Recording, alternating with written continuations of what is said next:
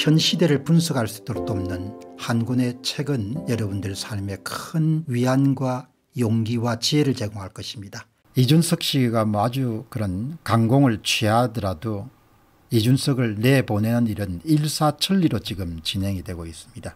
예, 일사천리로 지금 진행되고 있기 때문에 이미 이제 그 방향으로 결정됐기 때문에 이걸 막거나 뭐 역행시킨 것은 거의 불가능할 것 같습니다. 여당은 상임정국위원회를 개최하고 의원총회가 여러분들 결의한 것처럼 바로 비상상황을 인정하고 비상상황을 인정한다는 것은 비상대책위원회를 출범할 수 있다는 것을 뜻하는 거죠. 결국은 이것을 통해 가지고 서병수 전국위 위원장이 이야기, 의장이 이야기했던 것과 마찬가지로 이준석 당대표 체제는 퇴출하는 그런 술수를 예, 절차적으로 그렇게 진행을 하고 있습니다. 국민의힘의 상임정국위원회가 8월 5일 당의 현재 상황을 비상대책위원회를 구성할 수 있는 비상상황으로 인정하고 이에 따라서 국민의힘은 이준석 당대표의 직무정지에 따라서 권성동 원내대표가 당대표를 직무를 대행하고 있는 현 지도 체제를 종결하고 그리고 빠른 시간 내에 비상대책위원회로 전환하는 그런 절차를 밟기로 결의했다. 예. 이날 아마 통과한 것은 전국위원회 위원 54명 가운데 40명이 참석했고 비상상황이라는 해석에는 29명이 찬성했고 11명이 반대를 한 걸 보입니다. 그리고 권성동 원내대표에게 비대위원장 임명권을 부여하는 내용의 당원 개정안을 전국위원회에 상정했을 때도 26명이 찬성했고 반대로 비상대책위회가 출범한 이후에도 이준석 당대표의 복귀 가능성을 열어두는 내용을 담은 당헌 개정안에 대해서는 참석위원 10명이 찬성하고 30명이 반대해 가지고 원천적으로 이준석 당대표의 축출이 그냥 결정이 됐다 이렇게 보면 되겠습니다. 뭐 절차적으로 이렇게 결정하게 되면은 이걸 법정으로 끌고 가지 않으면 이제 그것이 기정사실화 되는 거죠. 예. 이렇기 때문에 이제 막판에 엄청나게 뭡니까? 예. 보통 사람들이 상상을 초월할 정도의 그런 강공책을 이중석 씨가 지금 쓰고 있는 겁니다. 예. 이에 따라서 국민의 힘은 전국위원회는 오늘 8월 9일 날 회의를 열어서 먼저 당헌 개정안을 처리하고 이어서 비상대책위원장 임명 동의안을 의결할 것을 봅니다. 이제 9일 같으면은 여러분 화요일이네요. 예, 화요일 날 예. 권성동 원내대표가 비상대책위원장을 임명하고 비상대책위원장이 상임정국위원회 동의를 받아서 비상대책위원들을 임명하면 비대위가 출범하게 됩니다. 비상대책위원회는 전당대를 열어서 새로운 당대표가 와 최고위원을 선출할 때까지 기존 당대표와 최고위원 자리를 비상대책위원회가 대신하게 됩니다. 제발 이번에는 이제 새 전당대를 열면은 선관위에게 선거 관리를 위임하지 말고 자체적으로 당원 중심으로 공정한 그런 선거를 통해 가지고 제대로 된 당 대표를 뽑도록 그렇게 해야 되는 것이죠. 그때도 이런 당 대표가 마치고 난 다음에 얼마나 문제가 많았습니까? 선거 공정성을 두고 그 이후에 대권 후보를 선택할 때도 얼마나 뭡니까? 1차 관문, 2차 관문을 통과할 때 문제가 많았습니까? 예, 그러니까 당내 경선 하나 제대로 공정하게 그렇게 치룰 수 없을 정도로 그렇게 국민의 힘이 돼 있으면 안 되는 거죠. 예. 서병수 의장은 회의가 끝난 이후에 취재진에게 분명히 밝힙니다. 당헌 당규상 비상대책위원회가 구성되면 현재의 당대표와 최고위원회는 해산한다는 조항이 있기 때문에 당대표 사고 유무와 상관이 없이 비대위 출범과 함께 현재의 당대표 체제는 와해되고 이준석 당대표는 대표직으로 복귀가 불가능하다 이렇게 되는 거죠. 이렇게 이제 난장판을 치고 났기 때문에 앞으로 이준석 씨가 국민의힘에 무슨 자리를 맡을 수 있는 가능성은 있을지 모르겠습니다. 예. 오히려 성향상 보면 민주당 가서 활동하는 것이 훨씬 더 맞는 사람이에요. 예. 그럼 그동안 민주당도 뭐 이준석 덕을 많이 봤을 거니까 예. 민주당에서 오히려 자리를 하나 주는 게 뭐 나중에 계속 선거를 떨어지게 되면 비례대표라도 민주당에 하나 주면 더 좋을 것 같아요. 이준석 씨. 꼭 정치를 해보고 싶으면. 이렇게 뭐 난장판을 치고 나면 앞으로 국힘당 내부에서 누가 여러분들 이준석 씨에게 뭘 하나라도 제공을 하려고 하겠습니까? 예. 그러니까 이제 확정된 것은 아닙니다만은 지금 나오는 이야기는 여당 상임정국위원회 비상 상황을 규정하고 비상대책위원장에 대한 주호영 씨나 정진석 씨가 유린하고 정지승 씨는 국회 부의장이 된 지 얼마 안 됐기 때문에 주호영 씨가 하는 게 맞겠다 뭐 이런 이야기가 나오는데 이거는 동아일보 취재기자니 기자 기자가 만든 기사니까 뭐 확정된 건 없는 거죠. 네. 막상 사람을 구하게 되면 뭐 사람이 그렇게 많지 않은 것이 또 사실인 거죠. 예, 이렇게 여러분들 정리정돈을 하면 되겠습니다. 권력의 끈이 끈 떨어지고 나면은 아무것도 아니지 않습니까? 권력이 있을 때는 뭐 본인이 예? 폼 잡고 뭐 다 가진 것처럼 보이고 주변 사람들도 네네 뭐다 아스 90도 인사를 하고 이렇게 하지만 그 건이 떨어지게 되면 뭐 그야말로 아무것도 아닌 거죠. 예. 그렇다가 이준석 씨가 뭐 지금 국회의원 뭐 배지를 달고 있는 것도 아니고 예. 집에 돌아가는 것 빼고는 딴 게 없는 거죠. 그동안 이준석 씨를 위해 가지고 어모 사격을 아주 열심히 했던 사람이 바로 정미경 씨입니다. 최고의위원을 예. 검사 출신이죠. 친 이준석의 정미경 의원 이준석 씨 이점에서 당대표 손 놓을 때다. 이게 이제 비수를 꼽는 이야기란 겁니다. 예. 권력의 평향계가 이렇게 바뀌면서 예. 알아서 이제 뭐 다 줄을 선 겁니다. 이런 것이 아주 중요하죠. 예. 이틀 전에 여러분들 서병수 전국위 서병수 의장 예. 하루 사이에 말이 바뀌지 않습니까 글쎄 비상대책위원회는 안 될 것 같은데요 아 비상대책위원회 오를 것 같습니다 그 다음에 뭐죠 비상대책위원회가 되면 이준석 씨는 해임되는 겁니다 이렇게 이틀 사이에 촥촥촥 바뀌지 않습니까 정치판에 오래 살았던 사람들이기 때문에 권력의 풍향자에 따라서 줄을 서는 거죠 뭐이 문제도 그냥 그냥 일과성거는 발언 정도가 아니고 아 이미 기울어가는 것을 보고 줄을 서기 시작했구나 이렇게 제가 보는 거죠. 음. 얼마나 음호 사격을 강하게 했습니까 이준석 씨를. 이준석 대표는 이점에서 당대표로서 이제 손을 놓을 때가 되지 않았나 싶습니다. 예, 다른 사람이 아니라 이준석 계보에 속하는 사람이 이야기를 한 겁니다. 친 이준석계 인사로 꼽히는 정미경 최고위원은 라디오 방송에 출연해서 의원총회에서 의원들이 전부 다 비대위를 가겠다고 했지 않습니까 그 정도 됐으면 우리 가족들이 들, 돌린 길을 가더라도 이 혼란을 털린 길을 가더라도 이 혼란을 더 크게 만들 수는 없습니다. 제가 하고 싶은 이야기 이 이야기지 않습니까? 본인이 아무리 옳은 것처럼 보이더라도 김웅 씨를 빼고는 대다수의 뭡니까? 의원총회에 참석했던 사람들이 다 비상 상황이기 때문에 비대위 체제로 가야 된다. 이렇게 이야기한 거 아닙니까? 그 정비경 씨가 이야기를 잘하네요. 예? 압도적인 다수가 그냥 비상대책위원회 체제를 구축해야 된다 이렇게 찬성했는데 당대표가 무슨 뭐 어, 명분을 가지고 그것을 법정으로 끌고 갈 수 있겠냐 이런 이야기를 지금 하는 겁니다. 이준수 이 보시죠. 정미경 최고위원은 최고위가 당을 비상상황으로 규정하고 비대위 전환을 의결하는데 반발하며 최고위 표결은 불참한 바가 있다. 그 정도로 적극적으로 이준석 씨를 옹호 이준석 씨 덕태에 막 최고위원이 됐는 모양이죠.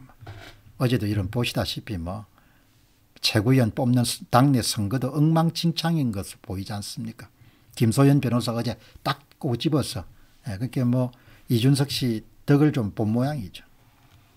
확인된 바는 없지만 그렇지 않고서 뭐 여러분들 그렇게 내놓고 뭐냐 예, 이준석 씨를 옹호하는 것이 쉽지가 않지 않습니까 예.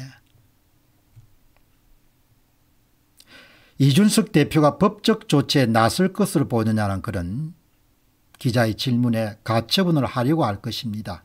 지금 법률가들이 볼 때 이번 가처분은 거의 받아들일 가능성이 되게 높아 보입니다.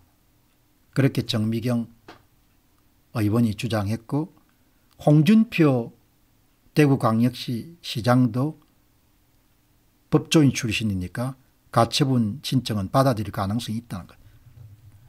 그러면 진흙탕 싸움이 되는 거죠. 예, 정말 참 놀라운 인간입니다. 음. 옛날 우리말에 이런 게 있지 않습니까? 다시 그 우물 마시지 않는다고 침 뱉지 말아라 이야기가 있지 않습니까?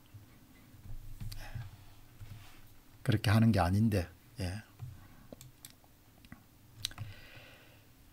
정미경 최고위원은 이준석 대표가 가처분 신청을 할 것으로 예상하고 그렇지만 당이론을 이야기합니다.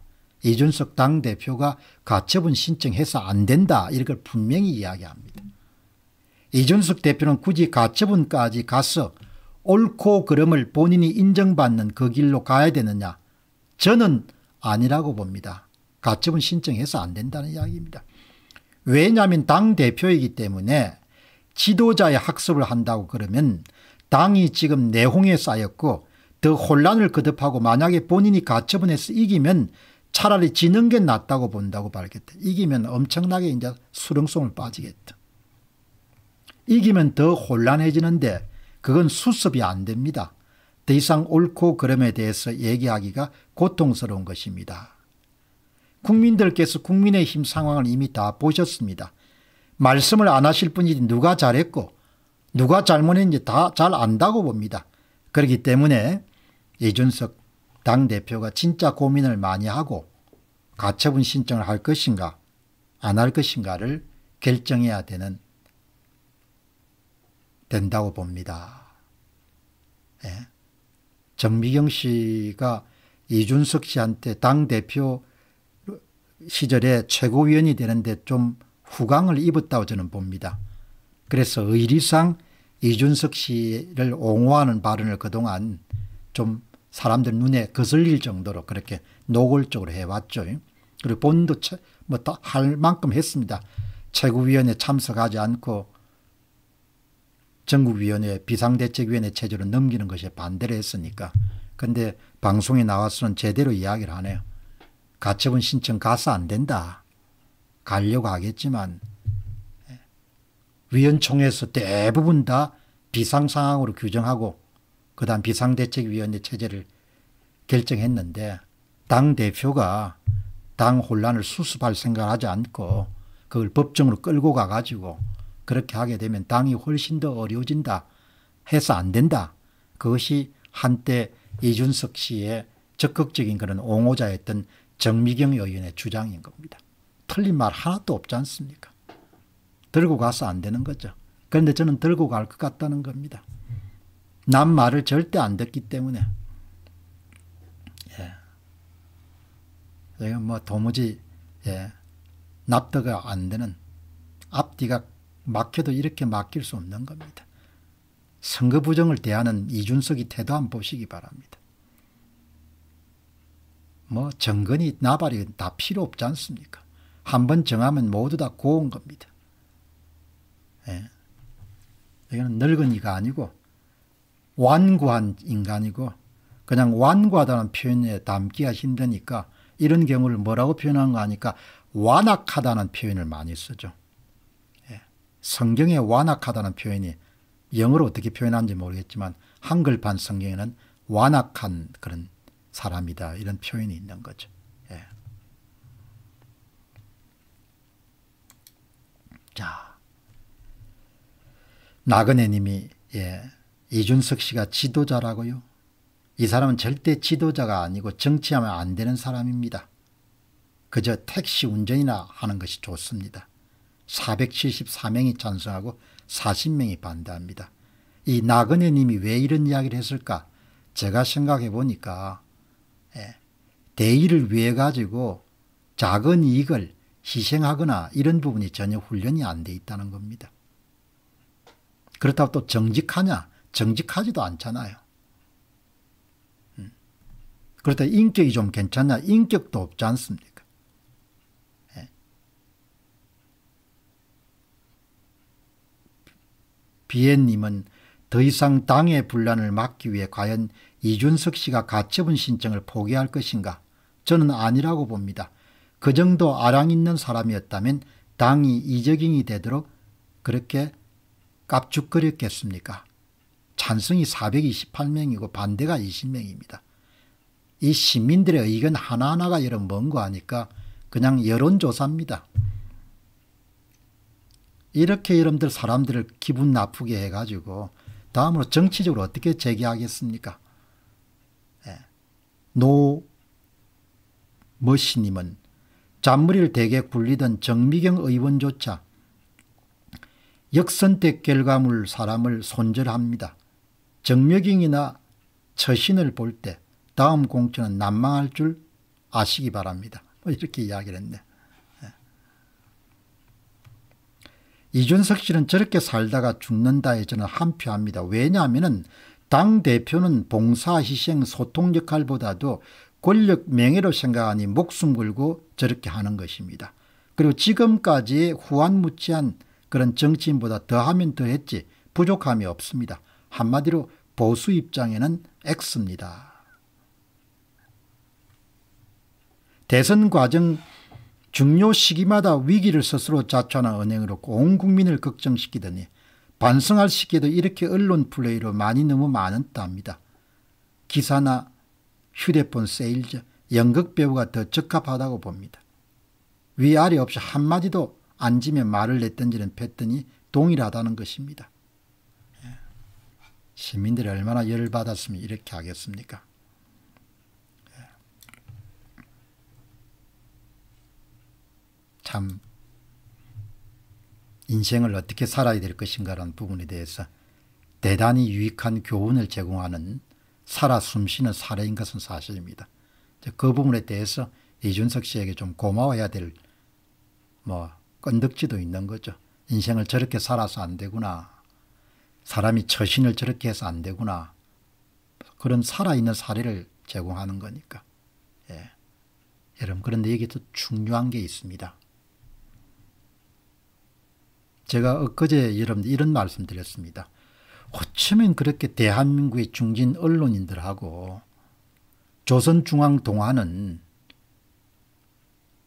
뭘 보고 그렇게 이준석과 함께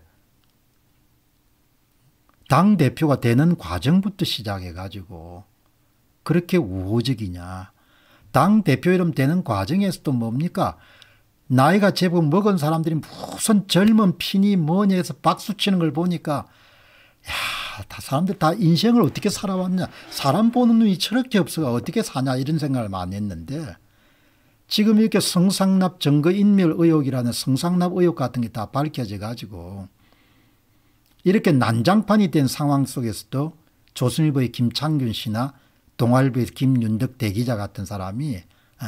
그래도 다시 한번 이준석을 외치지 않습니까? 여러분 그런데 중요한 게 바로 오늘자 신문에 조선일보가 사설에서 이렇게 까기 시작한 겁니다. 예? 이준석 정치를 이런 식으로 매듭짓고 기억되기를 바라나. 그런데 내용을 들어가 보니까 내용이 링크가 안 되는 겁니다. 단순한 기술적인 실수인지 아니면 너무 민감한 내용이라서 그걸 그냥 내려버린 건지 알 수가 없지만 어쨌든 오늘 오프라인 신문에는 이 여러분들 논설이 실리는 모양입니다. 이준석 정치를 이런 식으로 매듭짓고 기억되기를 바라나. 순식간에 뭡니까 조선일보가 논조를 바꾸기 시작한 겁니다. 기가 차지 않습니까? 그냥 웃고 넘어갈 일이 아니고 이게 바로 권력의 풍향계가 다 바뀌었다 이렇게 보는 겁니다. 당신 이런 식으로 매듭 짓고 나가면 되겠냐 이렇게 조선일보가 사설에 들고 나온 겁니다. 조선일보가 이준석 씨를 비판하거나 질타하는 경우는 뭐그 제가 볼 때는 거의 제 기억에 남아있잖아요. 물론 한 적이 있겠죠. 예. 이번 경우는 사설을 통해 가지고 나왔는데 유감스럽게도 링크가 안 돼 있는지 클릭해서 들어가 보니까 연결할 수 없습니다가 나왔습니다. 예. 이게 중요한 그거죠. 홍준표 대구광역시 시장이 1953년생입니다. 생각보다 나이가 좀 많으시네요. 68세입니다. 이준석 씨가 1985년생입니다. 37세입니다. 아마 홍준표 의원이 아들이 두 명인데 그 아들들 나이하고 비슷할 겁니다. 아마. 오히려 아들들이 나이가 좀 더 많을 수가 있겠네요. 예. 참 기가 찬 거죠. 정진석 의원이나 김기현 의원이나 권성동 의원의 아들보다는 조금 나이가 많을 거고 홍준표 의원님 두 아들에 비해 가지고는 나이가 이준석이가 적을 겁니다. 예.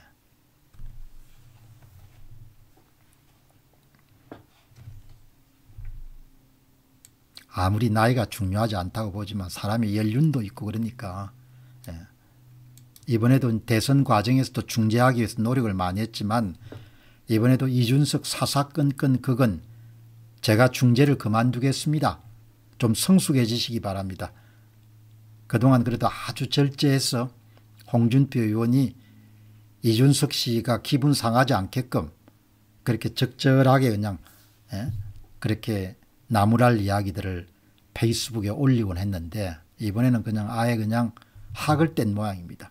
학을 어떻게 뗐는지 한번 보시기 바랍니다. 박근혜 정부가 새누리당 내부 분열로 탄핵을 당하고 지난 5년 동안 한국 보수 진영은 엄청난 시련을 겪었습니다.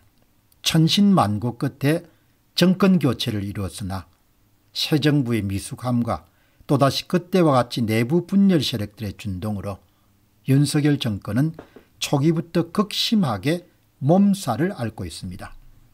그 다음 부분이 중요합니다. 당대표가 이유가 무엇이든 간에 징계를 당하고 바깥으로부터 당과 대통령 바깥에서 당과 대통령에 대해 공격하는 양상은 사상 초유의 사태로 꼭 지난 박근혜 대통령 탄핵 때를 연상시킵니다. 이제 그만들 하시기 바랍니다. 이미 이준석 대표는 정치적으로 당대표 복귀가 어렵게 되었습니다. 자중하시고 사법 절차에만 전념하시라고 그렇게도 말씀드렸건만 그것을 참지 못하고 사사건건 그건으로 대응한 것은 크나큰 잘못입니다.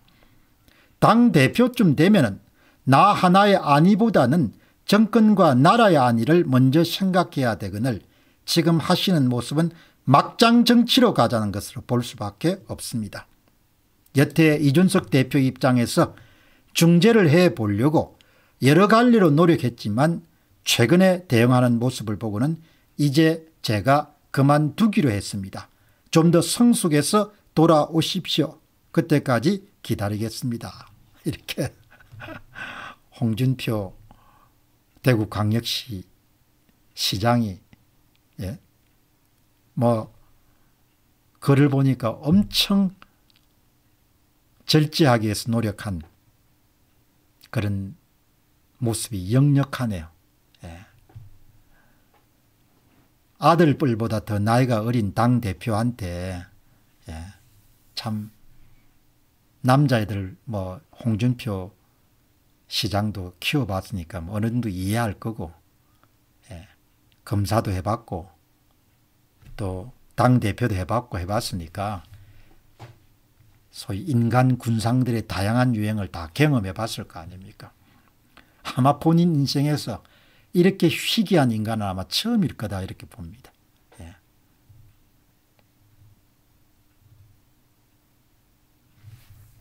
사법 절차에 전념하라고 이렇게 이야기를 했죠. 예.